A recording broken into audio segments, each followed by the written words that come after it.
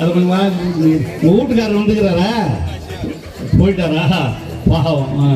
திருக்கோவிலூரில் நடைபெற்ற அரசு விழா ஒன்றில் பெண் ஒருவரிடம் உயர்கல்வித்துறை அமைச்சர் பொன்முடி மீண்டும் சர்ச்சையாக பேசிய வீடியோ வெளியாகியுள்ளது.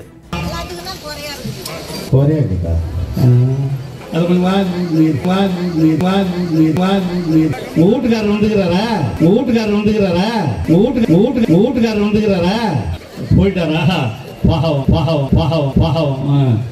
கள்ளக்குறிச்சி மாவட்டம் திருக்கோவிலூர் நகராட்சி சந்தப்பேட்டை அருகே ஜீவா நகர் பகுதியில் புதிதாக சீரமைக்கப்பட்ட கோஷாகுளம் விஜயலட்சுமி நகரில் புதிதாக உருவாக்கப்பட்ட பூங்காவை பொதுமக்கள் பயன்பாட்டிற்காக உயர்கல்வித்துறை அமைச்சர் பொன்முடி திறந்து வைத்து நலத்திட்ட உதவிகளையும் வழங்கினார். நிகழ்ச்சியில் பேசிய அமைச்சர் பொன்முடி தமிழக முதலமைச்சர் மு ஸ்டாலின் இந்து முஸ்லிம் கிறிஸ்துவ மக்கள் என அனைவரும் சமம் ஆண் பெண் என அனைவரும் சமம் என உருவாக்கி செயல்படுத்தியவர் என புகழாரம் சூட்டினார்.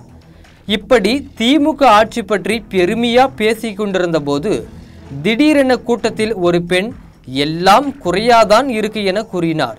நீ வாயை மூடு கொஞ்சம் உங்க வீட்டுக்காரர் இருக்காரா என அமைச்சர் கேட்க அவர் எப்பயோ போயிட்டாருன்னு அந்த பெண்மணி தெரிவித்துள்ளார்.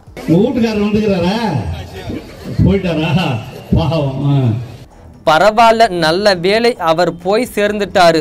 இல்ல நீயே அனுப்பிவிட்டு இருப்ப என அமைச்சர் பொன்முடி கிண்டலா பேசினாரு. பின்னர் பாவம் அது அது குறைய சொல்லுது விடுங்க அப்படின்னு அமைச்சர் பொன்முடி பேச்சு திசை திருப்பினார்.